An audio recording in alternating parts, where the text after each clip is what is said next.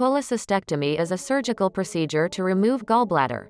Liver produces bile which is stored in the gallbladder and released into the small intestine through bile duct, where bile digests fats in the small intestine.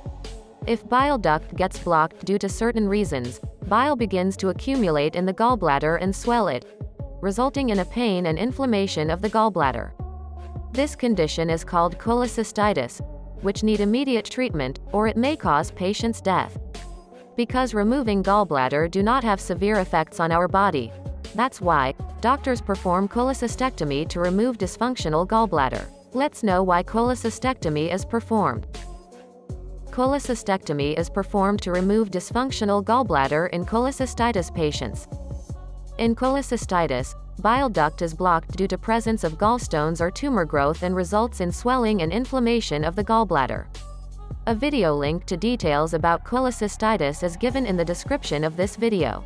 How is cholecystectomy performed? Cholecystectomy has two types, open cholecystectomy and laparoscopic cholecystectomy. Today, we will discuss open cholecystectomy in detail. Before the surgery, doctors collect patients' medical history and perform various tests such as CT scan and HIDA scan etc. During the surgery, patients receive anesthesia to become unconscious. Surgeon makes a large incision in the upper right side of abdomen and use retractors to hold aside the tissues and muscles while reaching the gallbladder.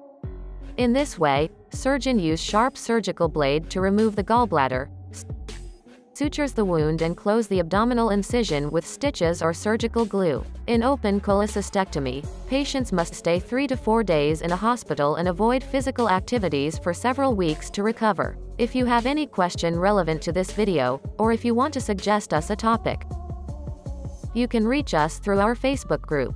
Its link is given in the description of this video.